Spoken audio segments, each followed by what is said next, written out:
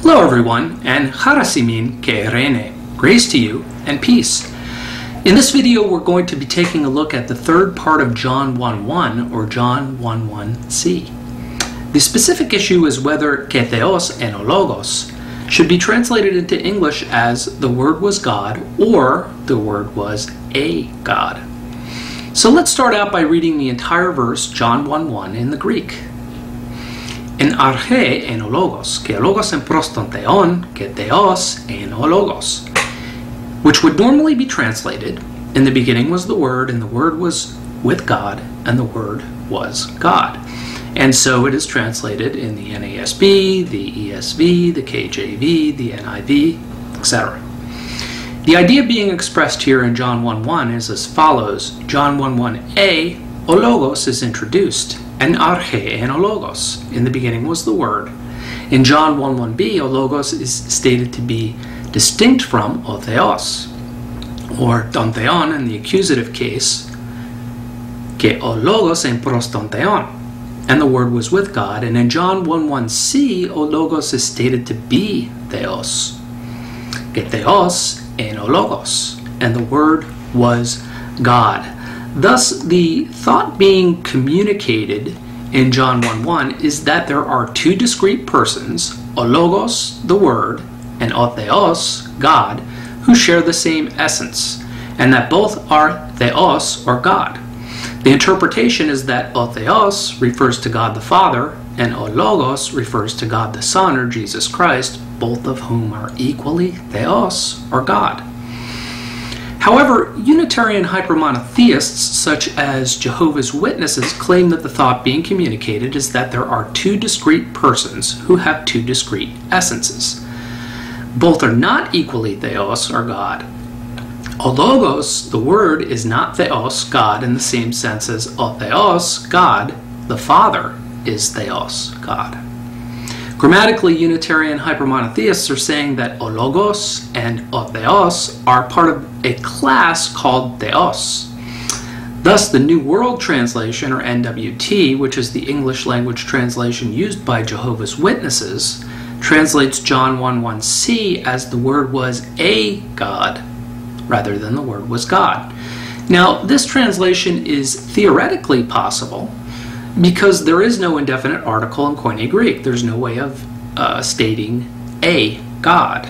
The a is the indefinite article in the English, not present in the Greek.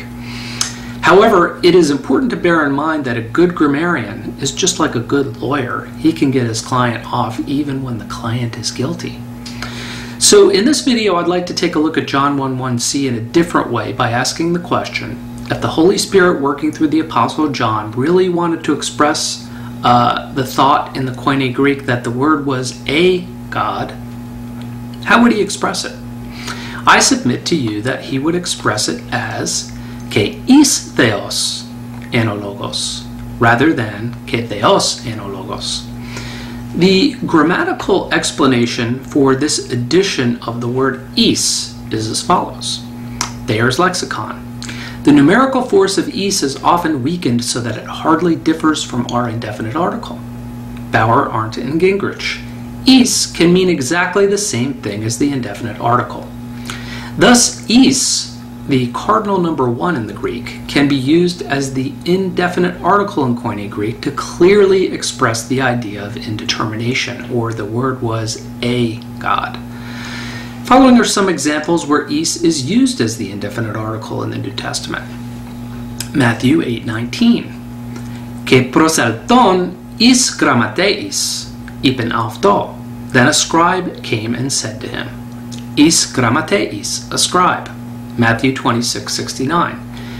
Que proselten auto mia paidiske, and a servant girl came to him, mia paidiske, a servant girl, mia being the nominative singular feminine of is.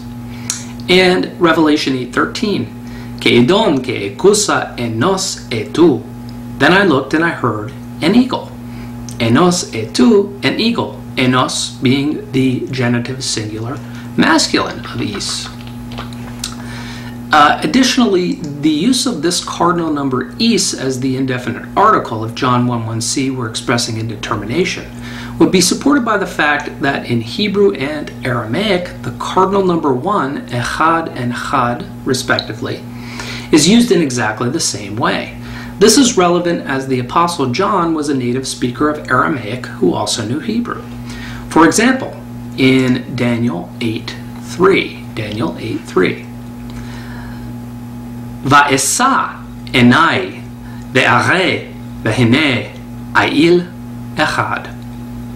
Ail echad is a ram. I raised my eyes and saw and behold a ram. In the Aramaic, Daniel 6:17.